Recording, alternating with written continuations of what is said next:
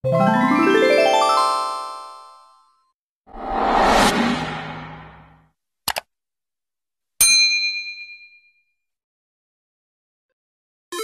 semuanya, kembali lagi di channel YouTube aku Idapar.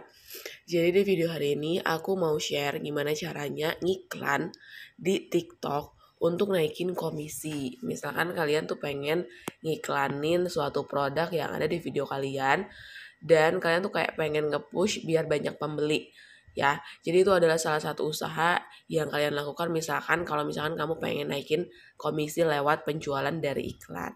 Nah, aku bakalan kasih tahu caranya buat kamu yang pengen tahu. Langsung aja simak video berikut ini dan jangan di-skip karena video yang bakalan aku share pastinya bermanfaat banget buat kalian semua. Oke, kita masuk ke TikTok dan pastiin kamu udah punya videonya dan si produknya itu udah ada penjualan. Karena kenapa? Karena kita akan tarik histori penjualan terbanyak di akun kita. Jadi kalau misalkan kamu pengen ngiklan nih, aku kasih info mendingan si produknya itu yang memang udah tinggi penjualannya atau udah ada yang terjual. Karena kalau misalkan uh, mau ngiklan nih tapi misalnya belum ada, belum ada yang beli, itu bebas sih sebenarnya terserah. Cuman kalau aku biasanya tuh ngiklan uh, untuk produk yang memang uh, udah tinggi penjualnya dan pengen dinaikin lebih tinggi lagi gitu untuk si produknya. Uh, kemudian kalau misalkan kamu mau langsung iklan, kamu harus lihat dulu ya misalnya video kamu uh, udah ada. Jadi kamu tuh harus udah punya videonya karena kan kita nanti akan ngiklanin dari video yang kamu share.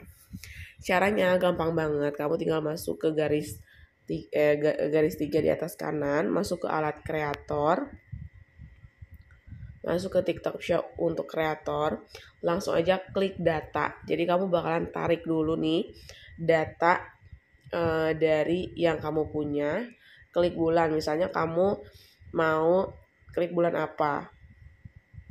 Contoh ini penjualan di bulan Juni ya. Bulan Juni itu penjualan uh, penghasilan kotornya di 96 juta estimasi komisinya di 4 juta 800an dan ini adalah video yang penjualannya itu tertinggi. Ada yang sampai 11 juta ada yang sampai 10 juta ada yang 2 2,7 ya. Jadi ini adalah hasil penjualan dari si videonya. Ya.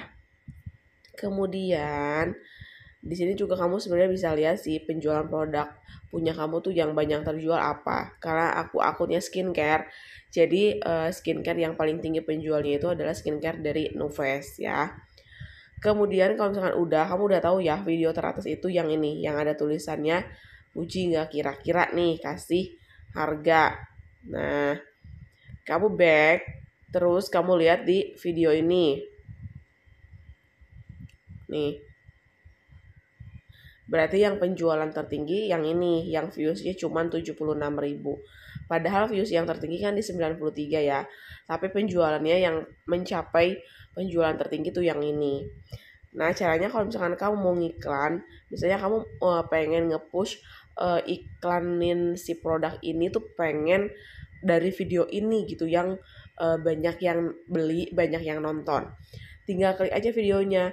Tapi dengan catatan ya, kamu kalau misalkan nggak mau video yang FYP punya kamu yang dipromosiin, uh, caranya sama kayak tadi. Jadi tinggal lihat aja video yang menurut kamu tuh, oh ini nih video yang butuh banget dipromosiin deh.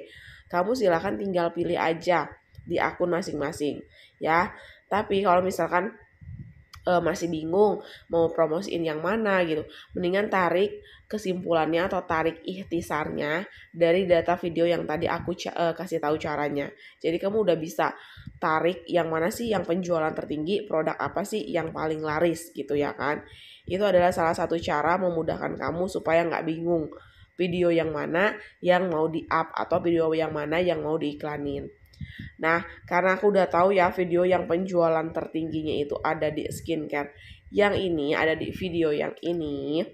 Jadi caranya kamu tinggal klik titik tiga, terus di sini ada promosi. Kamu klik aja promosinya. Nah, nanti tuh sama si TikToknya kamu diarahin. Ada beberapa yang harus kamu pilih. Misalnya kamu pengen uh, tujuan kamu apa sih untuk iklan?